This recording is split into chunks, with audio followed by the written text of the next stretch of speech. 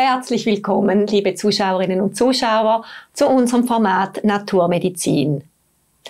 Menschgerechte Ernährung, was ist das?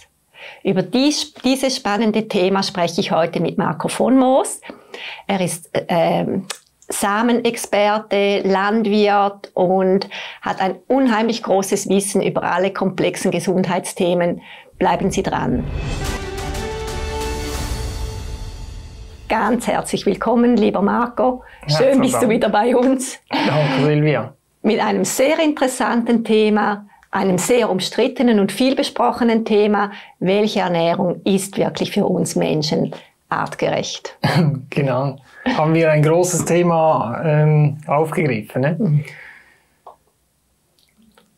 Wir haben ja, also es gibt die Menschen ja vier Millionen Jahre und wir haben uns da irgendwie äh, erfolgreich durchgeschlängelt und dann hat die Natur auch ihre Spuren hinterlassen, sage ich mal so. Und ich ähm, schaue gerne in der Natur, wie hat es die Natur gemacht und die hat nichts zufällig gemacht. Und anhand von, von dem kann man eigentlich erfahren, in welche Richtung äh, die Ernährung gehen dürfte. Wenn wir zum Beispiel unsere Anatomie anschauen, dann hat, haben wir zum Beispiel Zähne. Das sind keine Reißzähne, so wie das zum Beispiel äh, Katzen und Hunde haben. Wir haben äh, Mahlzähne. Wenn wir zum Beispiel äh, den Speichel vergleichen mit fleischfressenden äh, Tieren und, und, und, uns, dann ist das, der Speichel zum Beispiel viel basischer als äh, bei, bei reinen äh, fleischfressenden Tieren. Wenn wir da weitergehen, wir haben äh, eine viel tiefere Magen-pH-Wert äh, von der Magensäure. Also ähm, die Fleischfresser-Tiere, die haben sehr sauer und wenn man dann weitergeht, dann ist der Darm bei uns sehr lange und bei fleischfressenden Tieren sehr kurz. Das hat der Grund, dass wenn man aus, ausschließlich Fleisch isst, tierisches Protein, dass diese Stoffe, wenn sie zu lange in einem äh, Magen oder in, im Darm sich befinden, dass da Gärstoffe, äh, Fäulnisbakterien äh, und so weiter entstehen könnten. Und von daher macht es das Sinn, dass die Därme kurz sind bei den Katzen und Hunden, dass es möglichst schnell auch den Körper wieder verlässt. Wir haben aber einen langen Darm, das heißt, äh, unser Nahrungsbrei, wo wir essen, der braucht Zeit dass der Körper möglichst viel äh, herausnehmen kann. Und so hinterlässt, äh, finde ich, also zeigt uns der Körper, in welche Richtung es gehen kann. Auch die Hände zum Beispiel, das sind Hände zum Sammeln mhm. und äh, pflücken, auflesen und so weiter. Klar, wir können auch ein Instrument, ein Werkzeug mhm. äh, bedienen, aber es zeigt eigentlich, in welche Richtung das es gehen kann. Und wenn wir jetzt vergleichen in der Natur, wie äh, wie ernähren sich unsere nächsten Verwandten. Mhm. Dann sind wir irgendwo bei den Gorillas und Schimpansen und die essen Gorillas zum Beispiel 25 Kilo Grüngut. Wow. Und äh, wenig bis gar keine tierisches Protein, also die kleine Pflänzchen und Blätter und auch, ähm, auch mal Wurzeln und so weiter. Und ähm, sind, sind irgendwie viermal so stark wie wir. Und 99 Prozent dasselbe Verdauungssystem wie wir. Ja. Sehr spannend. Ähm, natürlich, wenn du, wenn du das jetzt gerade so erzählst, da habe ich mir gerade vorgestellt, wie wir ohne Instrumente einen, ein Tier reißen sollten. Das könnten wir ja gar nicht. Also aber wie ist dann der Mensch dazu gekommen? War es eine Notlage, dass man auch Fleisch oder Fisch dazu genommen haben? Oder wie erklärst du dir das? Oder Je nachdem, von wo das äh, der Mensch auch kam. Mhm. Also Eskimos, ja, da hast du Mühe, dass du da irgendwie etwas Grünes ja. findest. Dann äh, bist du bist du schnell mal bei der tierischen Ernährung. Wir haben auch eine kurze Lebenserwartung. das ja. stimmt, ja. Spannend ist ja auch, äh, was passiert zum Beispiel bei Naturvölkern. Mhm. Naturvölkern, die essen sehr viel Naturbelassenes und äh, weniger so raffinierte Produkte. Mhm. Also sprich, Zivilisationskrankheiten zum Beispiel entstehen erst, wenn zum Beispiel diese Naturvölker sich an der westlichen Nahrung äh, angleichen. Und da sind wir beim Punkt, äh, bringt die Ernährung, wo wir heute haben, wenn wir in den Supermarkt gehen, ähm, noch das, was der Mensch wirklich braucht oder wir brauchen, um Energie und kraftvoll und ein glückliches Leben führen zu können, das bis ins hohe Alter. Ja. Und ich bin äh, hingegangen und war auf der Webseite von äh, Bundesamt für Gesundheit und habe da nach einer Ernährungspyramide geschaut und ich habe da ähm, dies gefunden und ich war erstaunt, dass, dass das Bundesamt für Gesundheit auch schon auf diesem äh, Weg aufgesprungen ist. Also die, die, unter, äh, die zweitoberste ist zum Beispiel viel Grünes, Pflanzliches, ähm, Früchte, Grün. Die unterste ist Wasser. Da helfe ich äh, gerne mit. Ich habe da bei dieser Pyramide noch äh, einige Tipps für euch äh, äh, dabei. Also bei, beim untersten kommt mir jetzt einfach so spontan in den Sinn äh, Wasser, da helfe ich mit. Ich bin mit Sirup und so zum Mittagessen groß geworden. Also das äh, würde ich empfehlen, das einfach zu streichen. Also das braucht man jetzt wirklich nicht. Aber was wir da für eine Belastung äh, der Speicheldrüse und unseren Kindern geben, wenn da immer wieder Zucker kommt und die Insulinspiegel äh, hochgeschnellt wird. Ich für mich, äh, da, da unterstütze ich diese Ernährungspyramide viel grün. Also dürfen wir das Bild wieder vom Gorilla nehmen, dass wir möglichst viel Grünes äh, essen jeden Tag. Also ich schaue für mich das Minimum einmal pro Tag ein, eine große Schüssel schön grüne, grünen Salat äh, mit dabei ist. Und äh, wie stehst du denn zum Thema Fruchtzucker? Weil da ist ja auch ein sehr umstrittenes Thema, weil viele auch sagen, du sollst den Früchtekonsum, wo ja auch viele Enzyme und lebendige Vitalstoffe drin sind, ein bisschen reduzieren oder siehst du da kein Problem mit dem Fruchtzucker oder würdest du da auch eine Differenzierung machen? Ja. Dann sind wir beim nächsten Thema. Also heute sind die Früchte so dermaßen mhm. auf Süße gezüchtet. Mhm. Äh, ich vermisse manchmal die guten alten Äpfel, äh, wo man früher gehabt hat. Mhm. Heute haben die viel mehr Zucker drin. Also ich schaue auch, dass ich ähm, nicht da die super süßen äh, Früchte nehme, sondern eher ältere Sorten. Die haben noch äh, nicht den Zucker so hoch gezüchtet wie die anderen. Äh, da ist zum Beispiel noch Fruchtsäfte und so. Also ich trinke wenige Fruchtsäfte mhm. genau aus diesem Thema. Also schlussendlich ist es Zucker. Mhm. Ähm, Zucker wird auch äh, ja, säuerlich verstoffwechselt. Also Gesundheit braucht einen basischen Körper. Mhm. Und von daher äh, esse ich gerne einen Apfel, aber ich schaue auch, dass, äh, dass ich nicht zu viele Früchte, Früchte esse, wo so süß sind.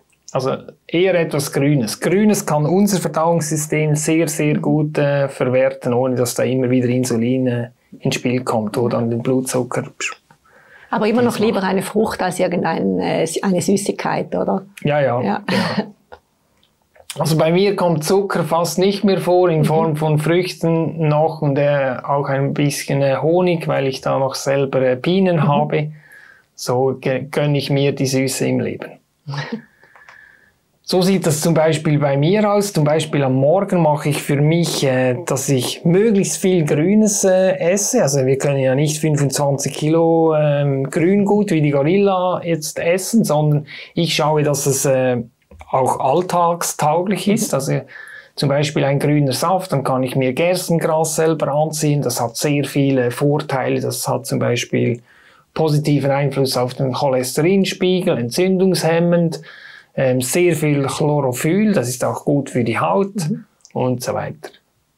Genau. Am Morgen zum Beispiel einen Saft, so getrunken.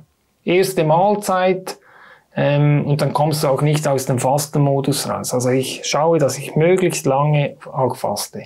Und wie siehst du das, wenn jetzt die Menschen vielleicht wirklich zeitlich sehr eingebunden sind und nicht äh, die Zeit finden oder sich nehmen, äh, jetzt jeden Morgen zu entsaften? So Gerstengrassaftpulver und ähm, Chlorella oder so einfach, ja. das ist ja auch ein, ein toller Einstieg, oder? Ja. Also kann ich auch empfehlen, dass man sich halt hilft mit, äh, mit Pulvergerstengras. Mhm. Ist jedoch nicht mehr dasselbe, mhm. weil äh, da ist ein, ein Bearbeitungsschritt ist da schon äh, äh, gemacht worden und das Lebendige, das Frische, das Aufbauende, das hat ganz eine andere Power, mhm. ähm, wenn es frisch ist. So kann zum Beispiel ein Salat aussehen. Oder so. Dann hat man auch die pflanzlichen Proteine mit dabei. Einfach naturbelassen. Bei mir sieht man schlussendlich immer, was es mal gewesen ist. Ja.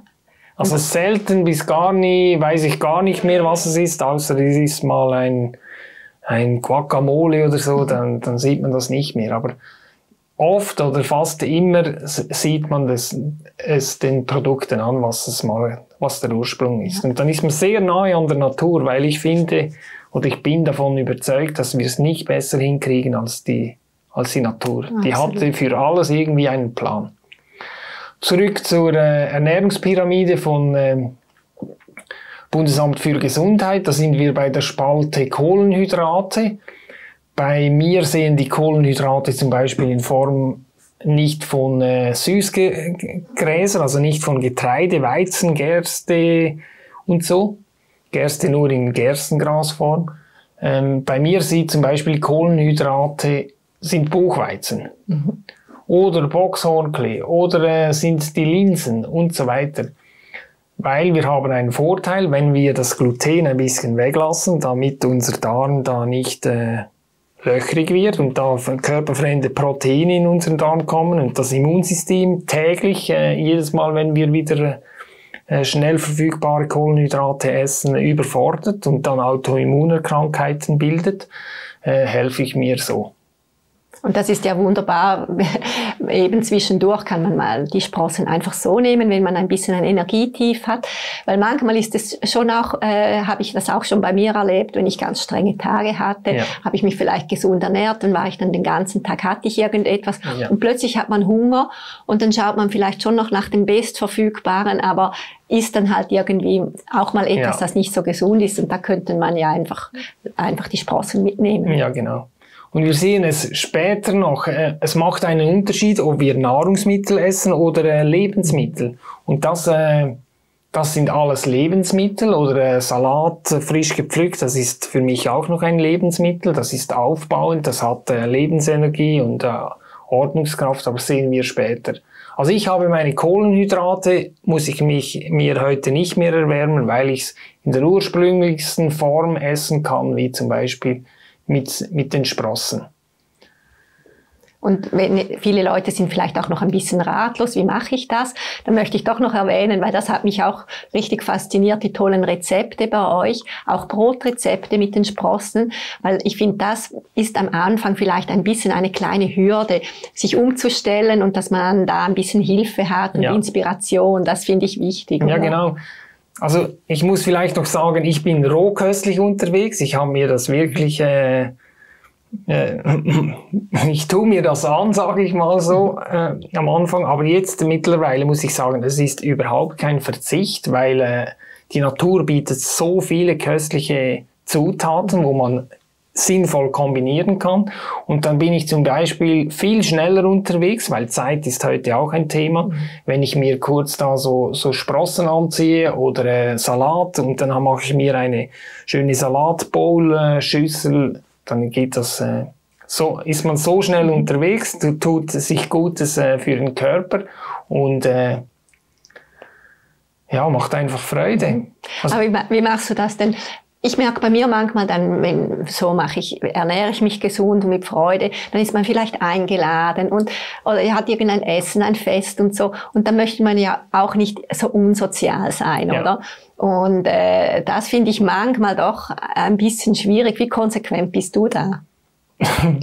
das fällt mir relativ äh, einfach, konsequent zu sein. Okay. Aber es ist ein Thema. Also mhm ins Restaurant zu gehen ist äh, ja macht nicht mehr so Freude wie es früher war, mhm. weil die Rohkost äh, ja die Küche ist nicht so für Rohkost äh, mhm. ausgelegt, aber gerade letzte Woche hatten wir Familienfest, äh, alle Verwandten, die Großmutter hat alle eingeladen und dann esse ich einfach eine große Schüssel Salat und ja. wenn man mit den Leuten spricht, dann ist das auch okay und die wissen ja und das Schöne ist, ich mache mal etwas vor und, und dann kommen Jahre später die Cousins und die ja, und die Brüder und so, die, die adaptieren vieles, weil es einfach Sinn macht. Ja, und je mehr Leute du inspirieren kannst, desto mehr werden vielleicht die Restaurants auch gezwungen, sich ein bisschen mit dem auseinanderzusetzen und auch ja. solche Menüs anzubieten. Und das macht man ja nicht einfach so. Also es hat auch einen Grund, warum man plötzlich bei der Rohkost mhm. ankommt. Also ich habe es in anderen Sendungen auch gesagt. Also ich hatte Borrelien aufgelesen. Borrelien äh,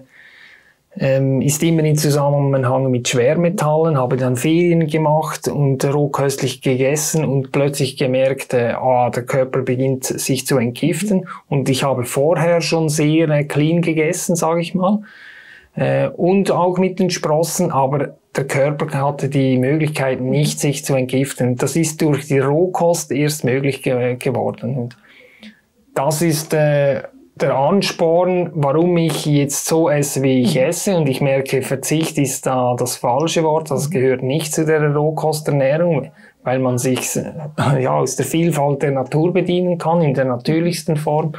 Und dann, ja, und dann macht es noch Freude und mhm. man spürt, äh, man ist da mit, mit der Natur unterwegs. Ja.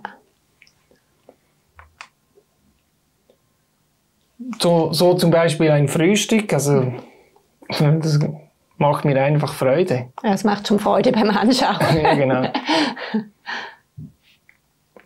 Ähm, was mache ich da oder was sehe ich da noch? Tierisches Protein. Ich äh, verwende für mich kein tierisches Protein. Ich hatte, habe die landwirtschaftliche Ausbildung gemacht. Ich habe es einfach nie cool gefunden, wenn man mit einem Lämmchen da in die Metzgerei gegangen ist und fünf Minuten später ist das einfach nicht mehr äh, lebendig. Also das war meine persönliche, ähm, der persönliche Grund, warum ich dann umgestellt habe. Ich bin froh, kann ich mir die Proteine pflanzliche herbeiführen.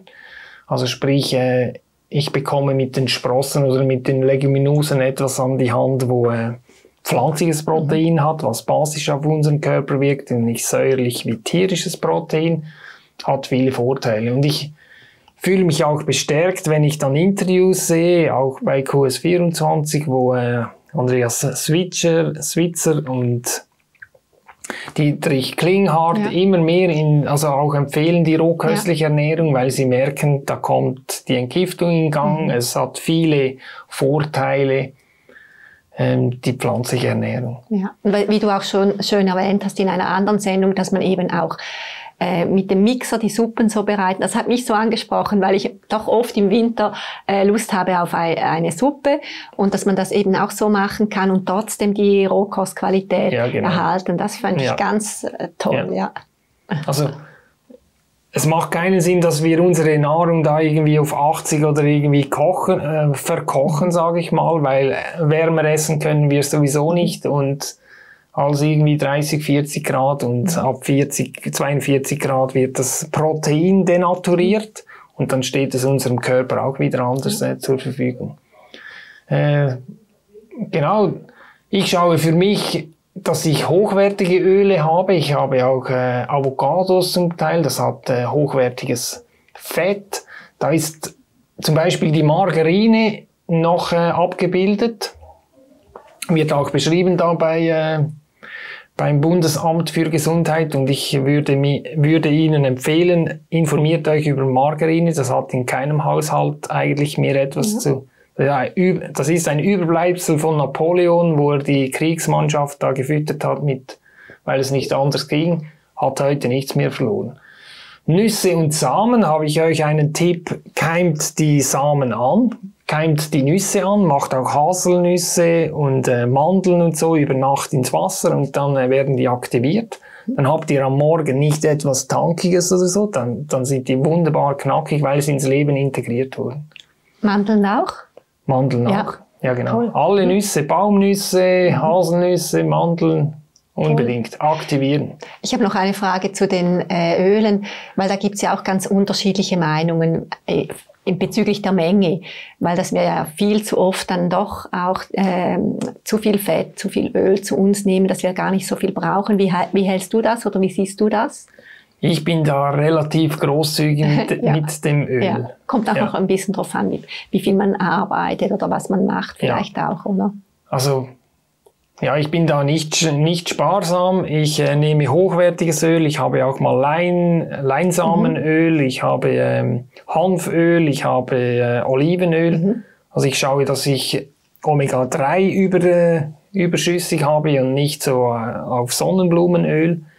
Äh, weniger so. Also mhm. Fett ist ein wichtiges Thema, weil aus Fett kann der Körper auch wieder äh, Energie produzieren und sogar noch mehr Energie als aus Kohlenhydraten. Also wie hältst du das denn persönlich jetzt mit dem Omega-3? Also ich nehme jetzt zum Beispiel noch das Algenöl, äh, weil eben wenn man sich vegetarisch ernährt oder rohköstlich, ja. äh, oder ist das dann nicht mehr nötig mit den Sprossen und so, oder wie, wie siehst du das?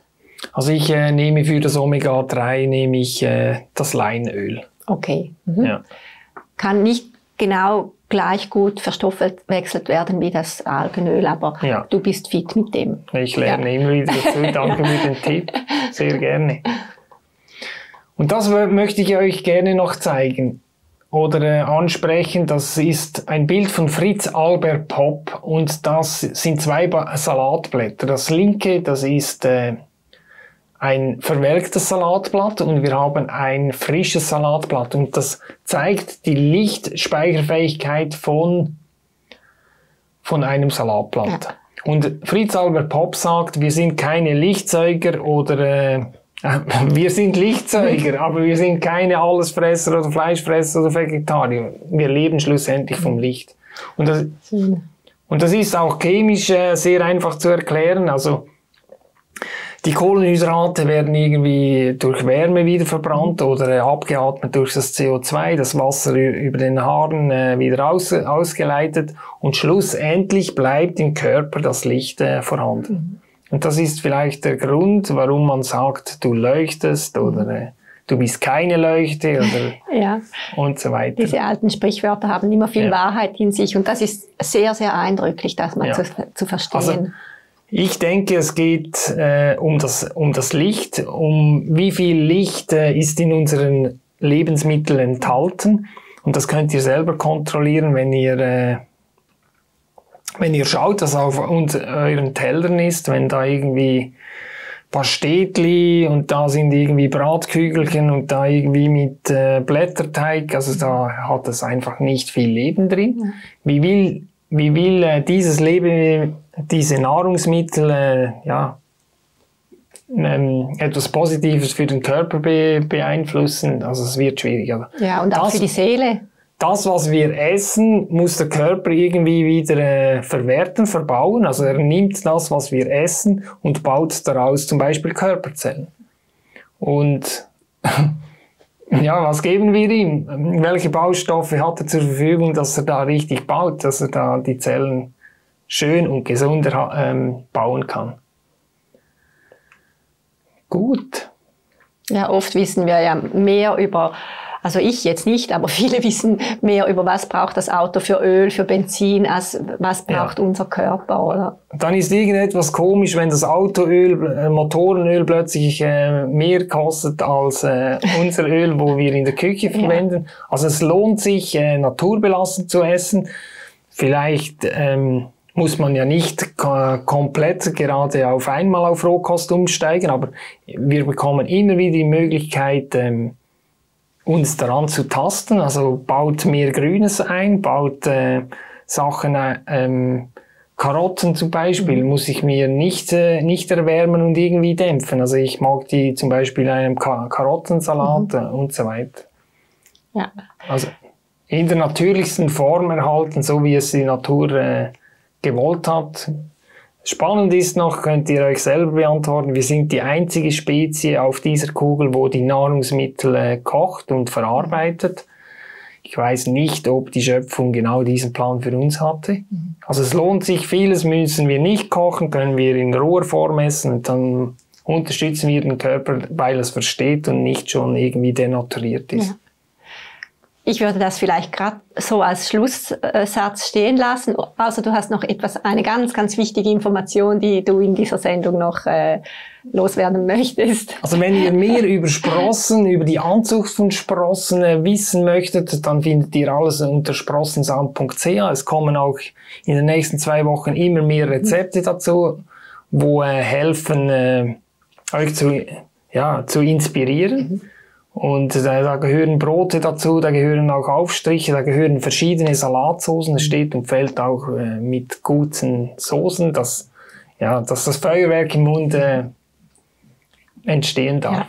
Genau, das äh, wollte ich dann gerade auch noch anmerken. Wieder wirklich manchmal hat man ja Lust, eine Umstellung zu machen, aber es scheitert dann ein bisschen daran, dass man nicht so weiß, wie kann man die Dinge wirklich schmackhaft, wie du sagst, ohne Verzicht zubereiten. Und ich war ganz fasziniert, äh, als ich eure Homepage, also deine Homepage angeschaut habe und diese tollen Rezepte gesehen habe. Da habe ich gesagt, habe ich gedacht, ah, da gibt's ja alles. Und dann, ich habe es dir schon gesagt, ich möchte am liebsten frei nehmen und alles ausprobieren, dass man da wirklich Inspiration holen kann und dass da wirklich eine Starthilfe ist, wenn man mal jetzt den Entschluss fasst, mehr für sich zu tun. Vielen Dank. Danke. Schön warst du wieder bei uns mit so vielen tollen Inputs. Danke, Marco. Danke auch. Liebes Publikum, auch Ihnen ganz herzlichen Dank und ich hoffe sehr, Sie konnten etwas aus dieser Fülle herausziehen. Wie Marco auch gesagt hat, man muss nicht alles auf einmal machen, aber jedes kleine Stück, dass man ein bisschen mehr für sich schaut, tut unserem Körper und unserer Seele gut. Schön waren Sie dabei. Auf Wiedersehen.